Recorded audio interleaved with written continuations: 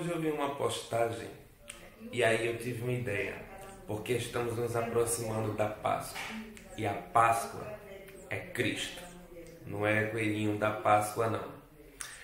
É, quando se fala que a Páscoa é Cristo, eu estou me referindo justamente ao sacrifício dele na cruz.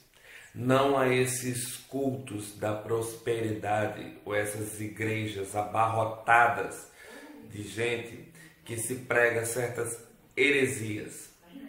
Eu vi um, uma postagem no Face falando exatamente isso. Venha para o culto ser hétero. Venha para o culto do hétero, onde você vai ser hétero. Como é que o cara promete um negócio que não vai cumprir. Porque simplesmente, como é que uma pessoa vem falar de um culto para ser hétero, se nós sabemos que tem muito gay enrustido dentro das igrejas, esperando a tal cura gay, que não existe.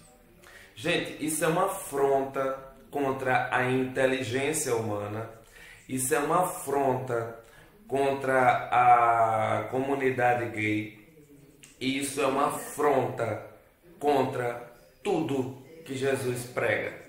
Isso não é igreja.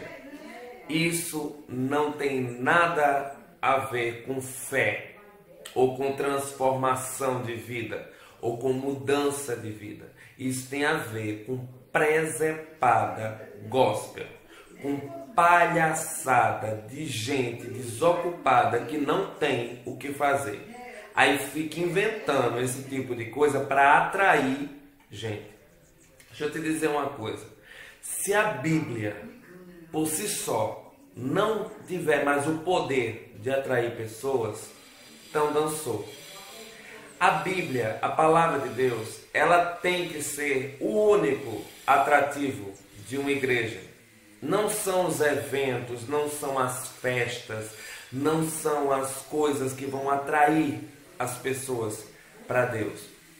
A própria palavra tem poder para isso. Se ela não tiver poder para transformar, nada mais tem. As pessoas são transformadas e convencidas pelo poder do Espírito Santo, não por culto hétero. Isso não existe. Isso é uma palhaçada. Eu sou totalmente contra esse tipo de coisa. Acho isso deprimente, degradante. Eu acho que as pessoas têm que procurar realmente é, viver uma fé e um evangelho genuíno. Eu vou combater todo tipo de hipocrisia. Eu vou combater todo tipo de coisa errada que eu ver.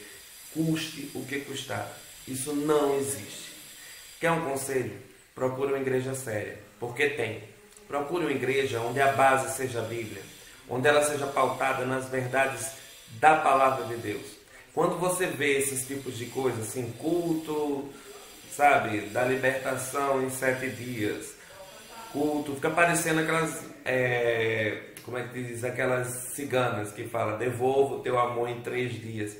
Fuja, sabe, de culto que devolve teu amor em três dias, que vai trazer uma pessoa para você, culto hétero que vai te curar, vai curar os gays. Os gays vão entrar pela porta, gays vão sair hétero. Gente, acorda, tem gente lá dentro que nem conseguiu ainda, e aí o povo vem com, com muita resenha. Eu sei do que eu estou falando, eu sei do que eu convivo, sabe? Vamos melhorar, gente. Acorda. Beijo pro tio Fera, até pros hipócritas da igreja. Beijo.